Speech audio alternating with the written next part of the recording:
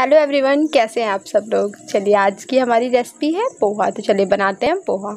पोहा बनाने के लिए सबसे पहले हमने एक पैन ले लिया है। पैन गरम हो जाएगा। उसके बाद हम उसमें हल्का सा ऑयल डालेंगे। बहुत ही ज़रा सा। आप चाहें तो ऑयल ना भी यूज़ करें अभी तो चलेगा। लेकिन हल्का बहुत डाल देंगे तो सही है। उसके बाद हम ये मूँगफली है। मूँगफली को हम रोस्ट कर लेते हैं। अच्छे से भून लेंगे हम इसको। हल्का रेडिश हो जाएगा। देन आफ्टर हम इसे निकालेंगे। ये देख सकते हैं, ये हो गया है। मूँगफली अच्छे से भुन चुकी है। इसे अच्छे से हम निकाल लेते हैं और इसे एक साइड में रख देंगे हम निकालने के बाद। ये देख सकते हैं। अब हम फिर से एक पैन लेंगे, वही पैन ले लेंगे। उसमें हल्का सा ऑयल लगा ही है और हम ऑयल डाल देते हैं। उसके बाद हम इसमें डालने वाले हैं। ऑयल गर्म होने तक का वेट कर लेंगे हम थोड़ा। ऑयल गर्म हो जाएगा, उसके बाद हम इसमें डालेंगे प्याज। ये आप देख सकते हैं, हमने प्याज डाल दिया है इसमें। हल्का ब्राउनिश करेंगे हम प्याज को, बहुत ज़्यादा नहीं बट हल्का हम इसे फ्राई करेंगे। चैनल को अभी तक सब्सक्राइब नहीं करता है तो सब्सक्राइब कर दीजिए लाइक कर दीजिए और कमेंट करके भी ज़रूर बताइए कि आपका पोहा कैसा बना है। हम इसमें कढ़ी पत्ता डालेंगे। प्याज हल्का सा हो जाएगा, उसके बाद ही हम कढ़ी पत्ता डालेंगे। ये देख सकते हैं। कड़ी पत्ता हमने स्टार्टिंग में नहीं डाला है, अभी डाला है, जिससे थोड़ा सही रहे। उसके बाद राई डाला है हमने। स्टार्टिंग में डाल देने पे ना अजीब सा ही मतलब कड़ा कड़ा सा हो जाता है और बहुत अच्छा टेस्ट भी नहीं आता है। ऐसे ना ये हल्का इससे मॉइस्चर मिलता रहता है ऑयल वगैरह की वजह से तो ये अच्छा टेस्ट करता है। देख सकते हैं, इन सारी चीज़ों को हम थोड़ा अच्छे से फ्राई कर लेंगे। और प्याज भी जो नहीं हुआ है, वो अच्छे से हो जाएगा, अच्छे से भुन जाएगा प्याज। ये आप देख सकते हैं, ये हो गया है। तो अब हम क्या करते हैं ना, अब हम इसमें ये प्याज देख सकते हैं, हल्का हो गया है ब्राउनिश ब्राउनिश हो गया है प्याज। देख लीजिए।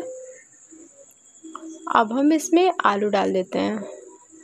आलू आप हल्का छोटा छोटा पीसेस काट लीजिएगा आलू का। बहुत ज़्यादा मोटा आलू नहीं काटना है छोटे छोटे पीसेस में ही काटना है, ताकि ये अच्छी तरीके से पक जाए। आप देख सकते हैं, ये आलू हम पकने तक का वेट करेंगे इसमें। आलू पकने के बाद ही हम कुछ इसमें ऐड करने वाले हैं। तो हम नमक हल्का सा डाल देते हैं इसमें। नमक डालने से ना थोड़ा आलू, टमाटर ये सारी चीज़ें ना अच्छे से पक जाती हैं। लाल मिर्च पाउडर यूज़ करा है, हल्दी यूज़ करा है। धनिया पाउडर है। धनिया पाउडर हमने ऐड करा है। आप चाहे तो ना मैगी मसाला भी डाल सकते हैं इसमें। मैगी मसाला डालने से भी ना बहुत अच्छा टेस्ट आता है। तो ये सारी मसाले भी हमने डाल दिया है। ये सारी चीज़ें ऐड हो गई हैं आलू भी पकने के लिए। बिल्कुल तैयार है तो अब हम इसे थोड़ी देर अच्छे से पका लेते हैं। आप देख सकते हैं, इसको हम पकने तक का वेट करेंगे। थोड़ा बीच बीच में चलाते रहिएगा आप लोग, इसे, और जब ये पक जाएगा, उसके बाद हम इसमें टमाटर ऐड करेंगे। ये आप देख सकते हैं ऑलरेडी नमक है इसमें तो कोई दिक्कत नहीं है, टमाटर ईज़िली गल जाएगा। ये टमाटर पकने तक का हम वेट करेंगे। टमाटर भी हो जाएगा। उसके बाद ही हम इसमें कुछ और ऐड करने वाले हैं। ये देख सकते हैं आप, टमाटर फ्राई हो रहा है। सारी चीज़ें ऑलमोस्ट हो ही गई हैं। तो अब हम इसमें ऐड कर लेते हैं कोई चीज़।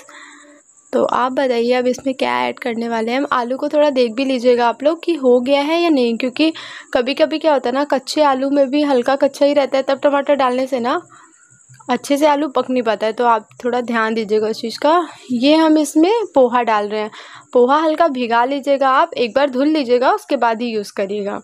और अगर ज़्यादा मोटा हो तो उसे थोड़ी देर रख भी दीजिएगा, उसका पानी निकाल के बट, नहीं तो ऐसे गल जाएगा। ये आप देख सकते हैं, पोहा एक बार धुलने के बाद हमने इसमें डाल दिया है। अब इसे बहुत ही अच्छी तरीके से हम चला लेते हैं। सारी चीज़ें पक चुकी हैं, उसके बाद ही हम पोहा ऐड करेंगे। और इसे बहुत अच्छी तरीके से हम चला लेंगे ताकि सारी जगह अच्छे से सारी चीज़ें मिक्स हो जाएँ। आप ये देख सकते हैं। ये हम इसे चला रहे हैं।